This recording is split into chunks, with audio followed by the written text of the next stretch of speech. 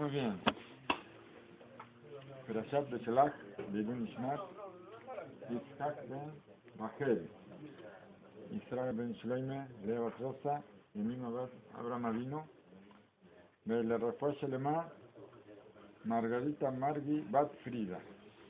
Muy bien.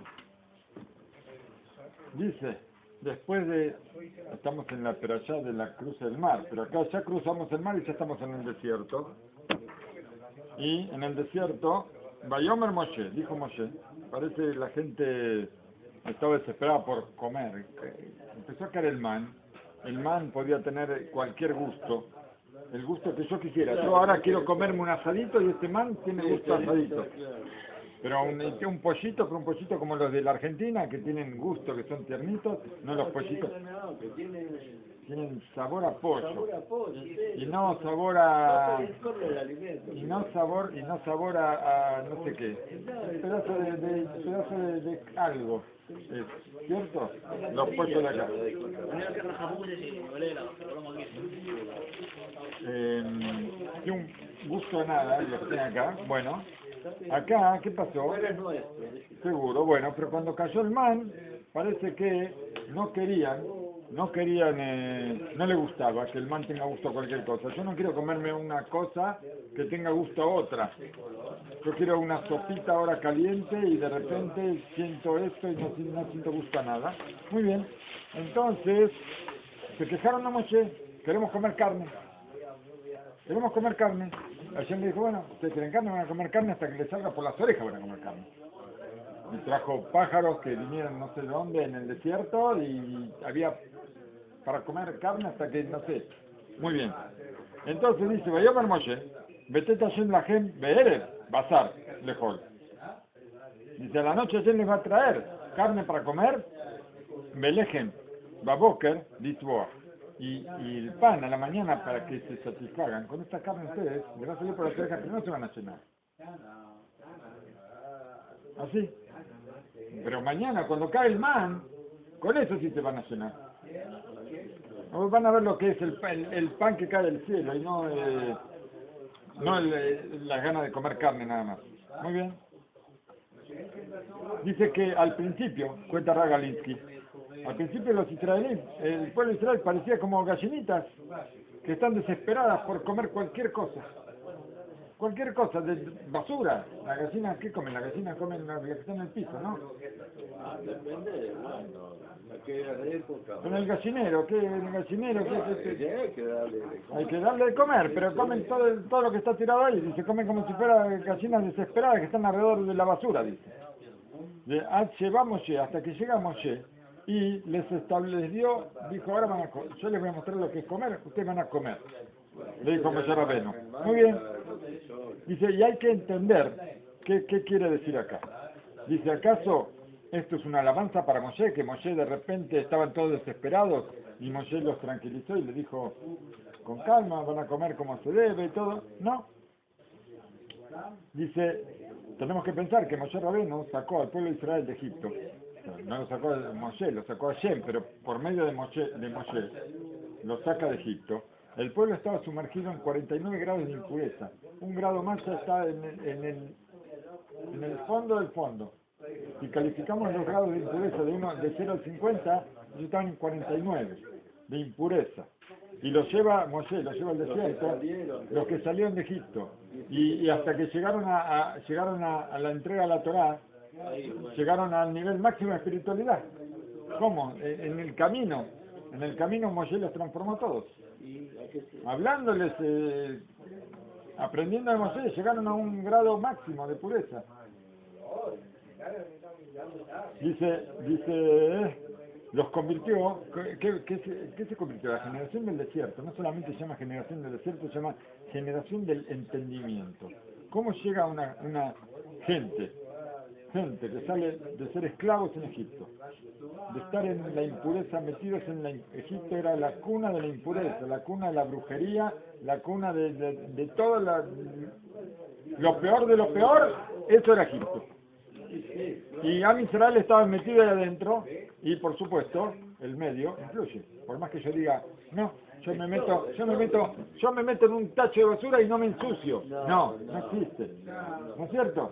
Está escrito que no lo, eh, que Hashem no nos ponga a prueba. Y también está escrito que uno no tiene que ponerse a prueba. ¿Por qué? Porque uno puede caer. Y yo voy a decir, no, no, yo soy fuerte, yo puedo pasar por cualquier lado, no importa lo que veo, no importa lo que escucho, no, a mí nada me, nada me influye, nada me hace caer. No, no existe. No existe. Muy bien.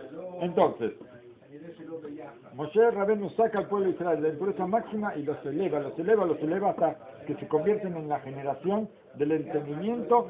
Y no durante los 40 años, ya cuando llegaron a la, a la partición del mar, ya ellos llegan a un grado de, de profecía.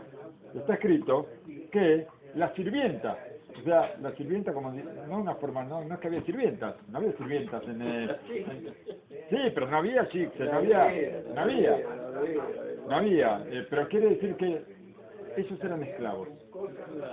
Los hombres esclavos y las mujeres, vamos a decir, sirvientas, vamos a decir.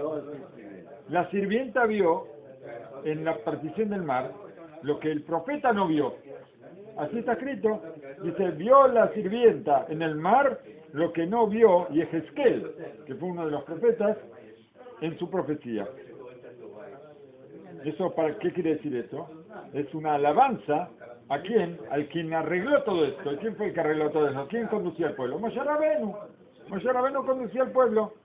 Muy bien. Dice, esto me hace acordar un sipur. ¿Por qué? Porque Rab, eh, Galinsky, siempre con sus sipurín, siempre con sus historias. Y lo que cuenta son cosas, eh, no son sipurín inventados, son Sí, sipurín... por eso, a veces No, me, porque suenan tan redondos. Bueno, mire qué redondo esto.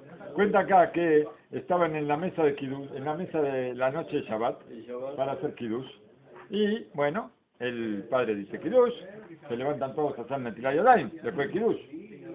La madre, la madre se saca los anillos, o el anillo, se saca el anillo, lo pone al lado del plato, ¿está bien? Para hacer Netilah Yadayim, para que no haya algo que, que, está entre, la, entre el agua, para que el agua llegue a toda la mano. Después se olvidó de ponérselo. Después de la comida, los chicos levantan los manteles con todo lo que hay en la mesa, levantan el mantel descartable, lo hacen un rosito al tacho de basura. Después del tacho de basura, después del tacho de basura, el tacho de basura va a la calle, ¿no es cierto? Al tacho de la calle. Muy bien. Con el anillo. Muy bien. Pero bueno, llega el momento en que empiezan todos como gallinitas. ¿Dónde está el anillo? ¿Dónde está el anillo? Y bueno, el anillo fue. Y entonces una de las gallinitas va al tacho de basura también. Va al tacho de basura. Va al tacho de basura. Y empiezan a revolver como gallinitas, a buscar miguitas. Hasta que encuentran el anillo y el anillo aparece. Muy bien. Y, y dice, tiene razón, como gallinitas. Dice, nosotros recordamos la palabra de la, de la Gemara, dice, que habla sobre una persona que por comida, porque es, ¿qué pasa? Puede ser que una persona infringe una ley por determinada causa. Una persona porque está desesperada por comer, esta persona puede comer algo que no sea callar, porque está desesperada por la comida. Dice una persona mumar. Mumar es que como que reniega algo. Mumar por el hambre, por la desesperación. ¿Y qué pasa esta persona? Por tiene una cosa para comer que está permitida, pero no, la desesperación hace que coma algo que está prohibido. Entonces dice, si tenés algo permitido y algo prohibido, no podés dejar lo permitido y agarrar lo prohibido. Y si uno hace esto, entonces esta persona está renegando a lo que es la Torah. Puedo comer lo que está permitido, ¿por qué tengo que comer lo prohibido? ¿Qué quiere decir todo esto?